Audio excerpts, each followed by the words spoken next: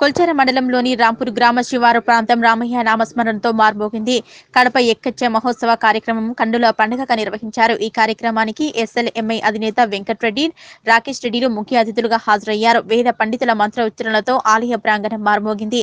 ఆలయ ముఖద్వారానికి కడపెక్కించే కార్యక్రమాన్ని ఘనంగా భక్తి శ్రద్ధలతో నిర్వహించారు.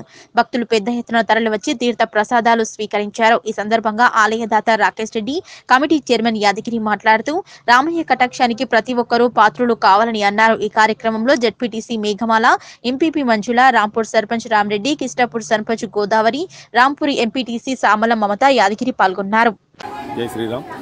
ఈరోజు రాంపూర్ గ్రామం కొల్చారం మండలం రాంపూర్ గ్రామంలో శ్రీ శ్రీ కోదండ రామాలయం నిర్మించబడుతున్నది. అట్టి విజయ- నిర్మాణంలో దశలో ఈరోజు కడప ఎక్కించడం జరిగింది. ఇటు కార్యక్రమము విజయవంతంగా పూర్తి చేయగలిగినాం. దీనికి పూర్తి సహకారాలు అందించిన శ్రీ ఎస్ఎల్ఎంఐ ఇండస్ట్రీస్ వారి అధినేత వెంకరెడ్డి గారికి ధన్యవాదాలు తెలియజేస్తున్నాను. వారు రాకపోయినప్పటికీ వాళ్ళ రాకేష్ రెడ్డి గారిని పంపించి కార్యక్రమాన్ని దిగ్విజయం చేసినందుకు వారికి కృతజ్ఞతలు తెలియజేస్తున్నాను. జై శ్రీ.